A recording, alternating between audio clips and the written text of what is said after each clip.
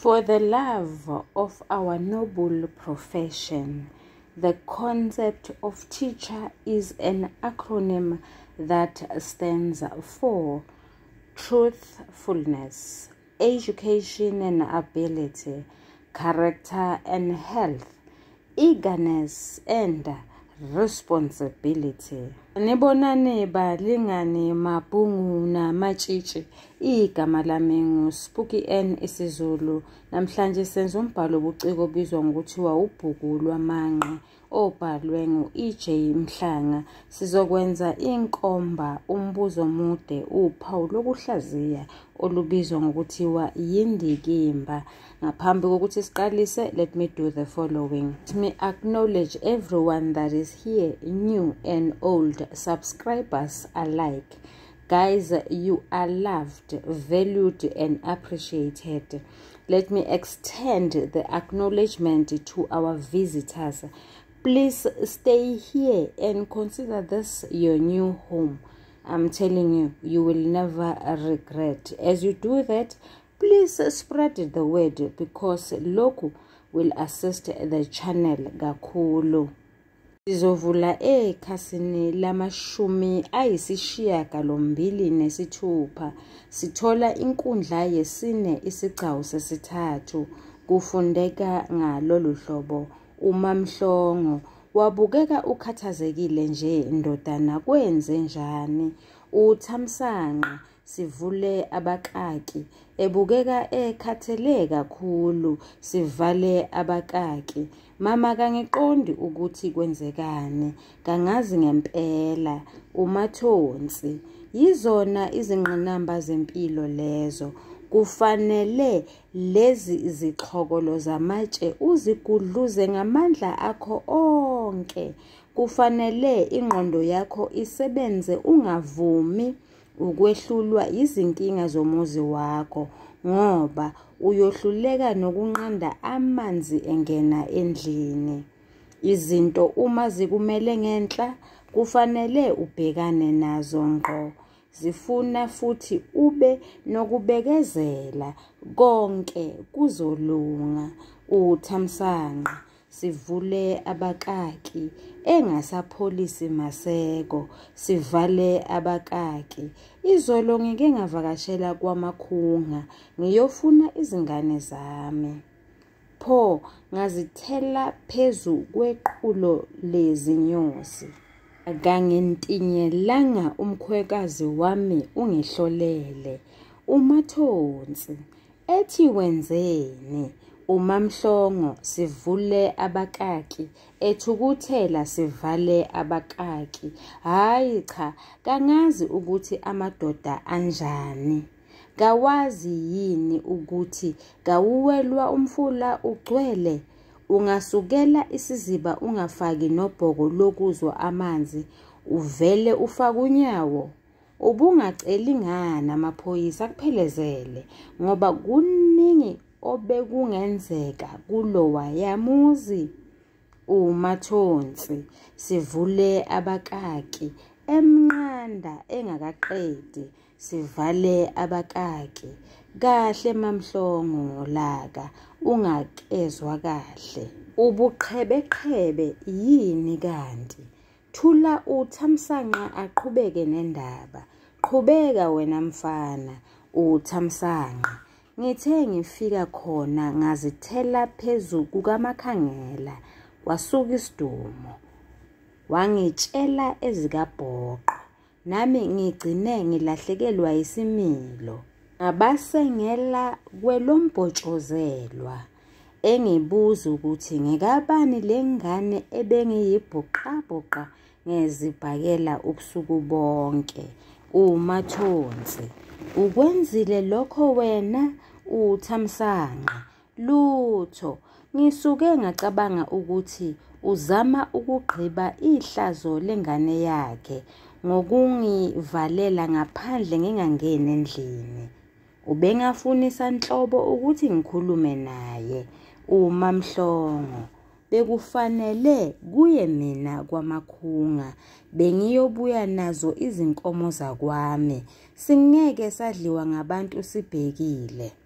Bekufanele uye namaphoyisa ngoba laba bantu babonisile ukuthi kababantu balutho. Uthamsanqa. Sivule abakaki ekhulumela phansi sivale abakaki. Uyakwazi ukuthukuthela ukuthi kwenzisana izinto obungeke wazenza uphilile isibindi ebenginaso besimangalisa ngazi kahle ukuthi kulo wayamuzi kugcwala izindlavini nje zabantu abazothenga abanye baphuzela khona laphaya kepha kangizange ngibe nendaba nalokho. Umamhlongo kanginamntwana wokudlala amaqili ngiya kwamakhunga kusasa lokhu. Uzongithola kahle lo mabefukazi wesisu esikhulukazi ungathi isizinda samaxoxo umathonsi. Ngiwaze njalo-ke amakhosikazi ngokubilelwa yigazi izinto bengakazicabangisisi umphumela wazo. Kuphika nawo ngeke kwakusiza ngalutho. Uhlala usezinkingeni njalo. Bahlala bangophuma silwe indaba bayone isizolunga noma isilungile. Ungamnaki umama wakho wena mfana. Qhubeka. Thamsanqa. Baba kangazi ngoba izinto kungenzeka ukuthi kazihambi njengoba umuntu ecabanga osekungidida ikhanda kakhulu.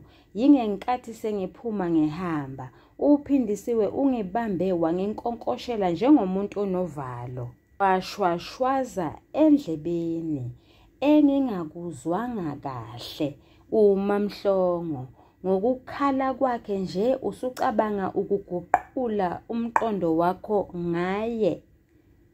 Mbuyise ekhaya uzozisola ngoba ngeke uthi usuphumelele ukukhipha imambe endlini uphinde uyibuyisele ngezakhe izandla futhi uthamsanqa kuyiqiniso lokho mama kepha bekungomunye uphindisiwe lona ebengikhuluma naye.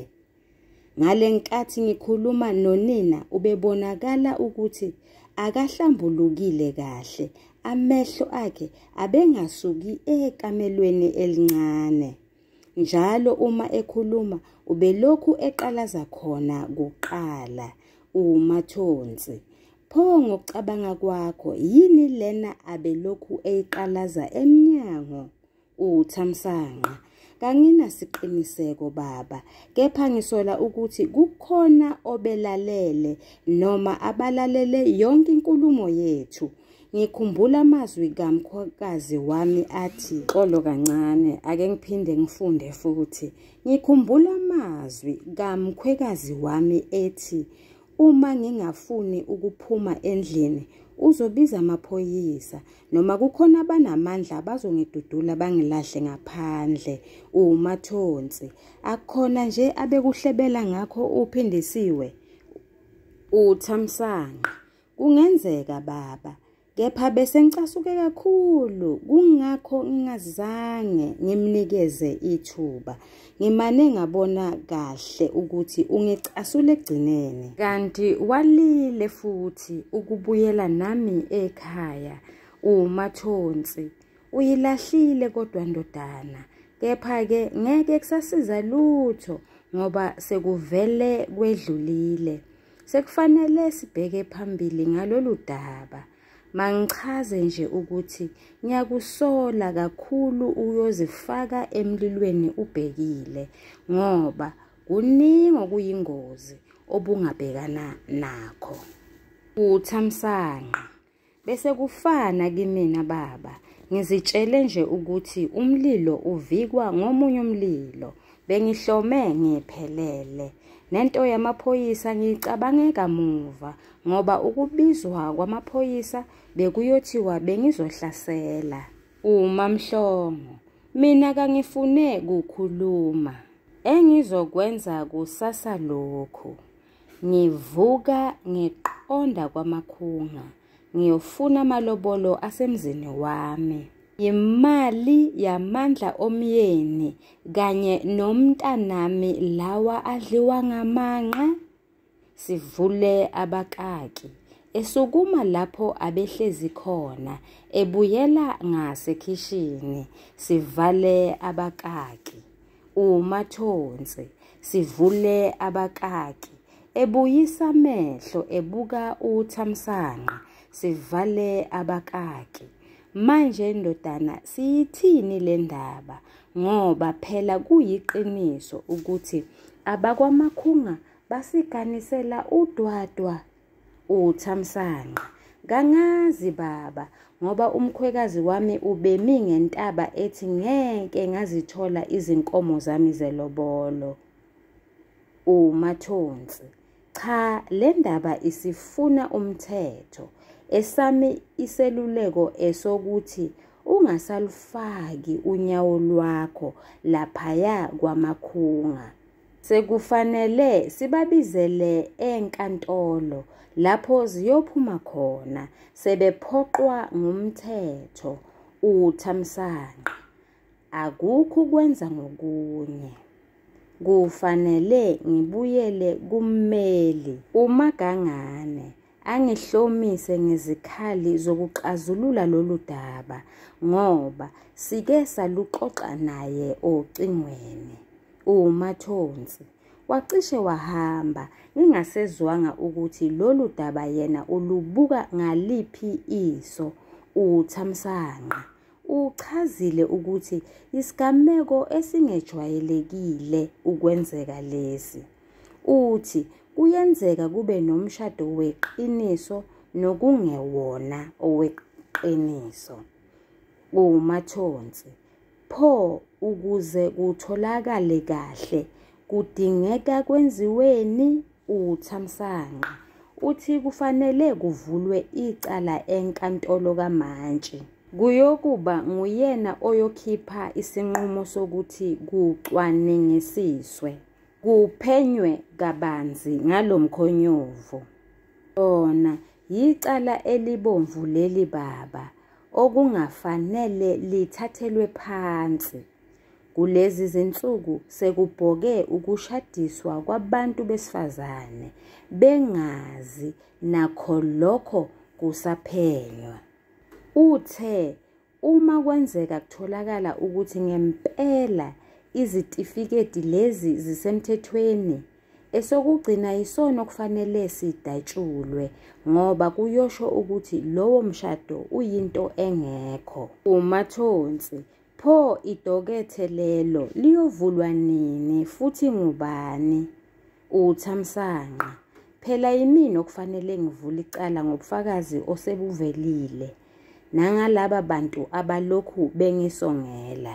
Umathonsi pho kuyokwenzeka nini lokho? Uthamsanqa. Maduze nje baba. Uthe kimina ngeke phela amasonto amabili lingakangeni leli cala enkantolo. Umathonsi ngamanye amazwi isitifiketi esiyodatshulwa yilesi esingesakho. Uthamsanqa. Kunjalo nje baba. Okuhle ukuthi kunejele phakathi. Aphinde lowo ahlawuliswe imali yokuchithela omunye umuntu isikhathi nokukhohlisa inkantolo. Umathonsi hayi cha sekuhlwile ndodana. Ngithe ngihlezi emini ngicabanga ngazibuza umbuzo wokuthi ukuba lesi simo besibhekene nami bengiyosixazulula kanjani? Qina ndodana? Kukhulwa kanjalo. Ungasibona isihleka nje nathi sisha ngezindlela ezahlukene. Uthamsanqa. Okungikhathazayo yilokhu obekukhulunywa ngumama. Uma ethi uzovukela khona kwamakhunga. Iyingozana leya ndawo. Uma esefika evutha amalangabi agcine eselimala kuyothi wani umathonsi. Hayi ungakhathazeki ndodana. Ngizowubhula lo mlilo. Phela bahlushwa yinimba laba akubona abantu bokunakwa. Izinto bazithathela phezulu baqede lapho bazone ngoba bethembe ukukhala futhi. Sivule abakaki ahleke sivale abakaki. Uthamsanqa sivule abakaki esevalelisile kunina sivale abakaki isiyobonana kusasa baba sivule abakaki avule umnyango aphume sivale abakaki. Siyaphela lapha isicawu sesithathu esitholakala enkundleni yesine. Ake sichaze sicubungule sihlaziye. Sizobhala isihlokwana esithi indikimba bese seqa umuqa sibhale igama ngosonhlamvukazi elithi isingeniso. Sizongenisa ngalolu hlobo indikimba. Yiqiniso elethulwa ngumbhali. Yilokho okubalulekile okungumsuka wento ethile. Ingakho nje sithi indikimba ngumongo yingqikithi nomnyombo wentethile indikimba yalombhalo wobuciko uthando lwemali. Ngizothi uma sengiqedile ukubhala lokho engikushilo ngeqe umuqa ngibhale igama elithi umzimba bese ngiqalisa ngalolu hlobo. Lombhalo wobuciko kukhulunywa ngezimali zisuka nje. Unkululeko ufuna ukukhokhelwa. Phela ukhokhelwa imali abekade ondla ngayo uphindisiwe. Uphindisiwe lona ungumalokazana wakwamathonsi. Unkululeko lona yishende lakhe. Esinye isizathu esenza ukuba unkululeko afune ukukhokhelwa ukuthi walahlekelwa umsebenzi ngenxa yakhe uphindisiwe lona. Uphindisiwe washayisa ingane wangafuna ukulethwala lelo cala. Wasecela unkululeko ukuba kube nguyena ogqunyekwa ejele iminyaka emithathu. Ngokuthanda imali vumiyani unkululeko. Asekhokhelwa-ke egqitshwa ngezinkulungwane ezingamakhulukhulu zemali. Leyo mali yayiqhamuka kumakhangela ongunina kaphindisiwe. Ubufakazi obalethwa ngunkululeko kwamathonsi obuthinta isitifiketi somshado kanye nesithombe lapho eqabulana khona nophindisiwe siyahambisana nendikimba yothando lwemali. Siwumgungunyathi siphinde sishicilelwe ngosikela osebenza kumnyango wezasekhaya owayethengisa noma enza umshoshaphansi wezitifiketi zomgunyathi. Uphindisiwe uyayithanda imali. Simbona esukela unkululeko ehlezi nabangane bakhe. Bagcineke sebethandana. Unkululeko useyamondla. Kwazise phela uthamsanqa ubesathe eshelele ehambe isikhashana esithi kuba sijana nje. Yazi sonke uma ikati lisathe shelele amagundane asale etanasa. Uzibeka uphindisiwe izizathu ezenza ukuba aye kunkululeko. Uthi wayesanda kushonelwa ingane uthamsanqa esehambe isikhathi eside. Nokuthi wayengenayo imali ngakho-ke unkululeko wamsiza ngakwezezimali.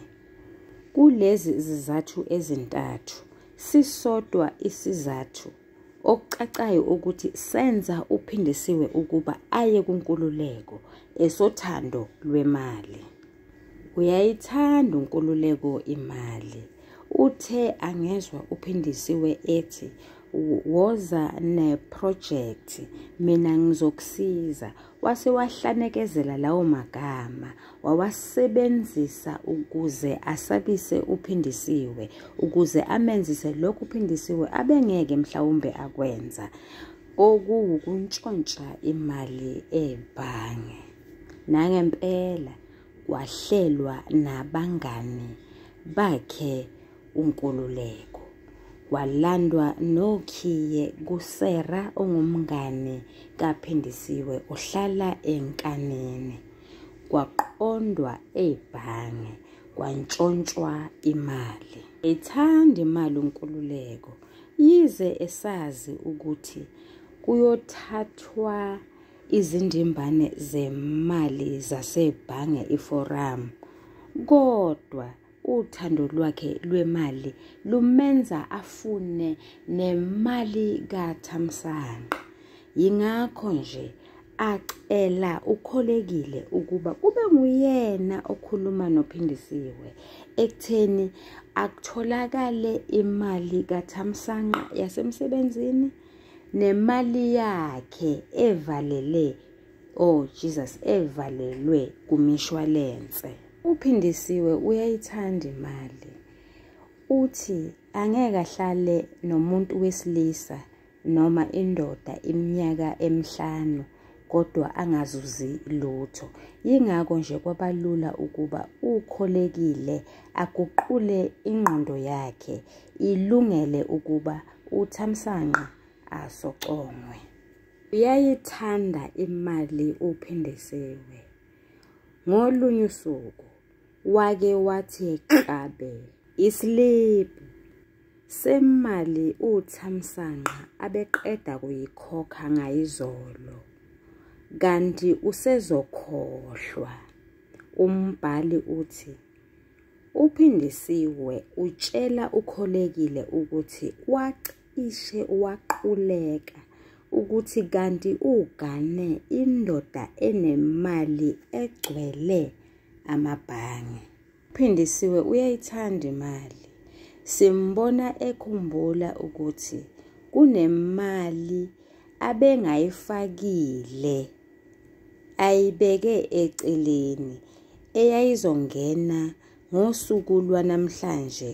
ku-ATM into ayicabangayo iyodwa nje ukuthi ngeke asamkhalela uThamsanqa. Hawu kanti uphindisiwe ubeshade noThamsanqa ngoba efuna izimali zikaThamsanqa na? Noma ubeshade naye ngoba ubemthanda? Balingani bami nani bafundi. Mese ngiqedile ukubhala konke lokho engiqeda kukusho manje. Ngizokweqa umugqa. Ngibhale igama ngosonhlamvukazi elithi isiphetho. Lesi isiphetho se-essay ngakho-ke siwuvo lwami. Ngiyema lapho ngoba umfundi usengazibhalela esakhe isiphetho. Niyathandwa nisale kahle.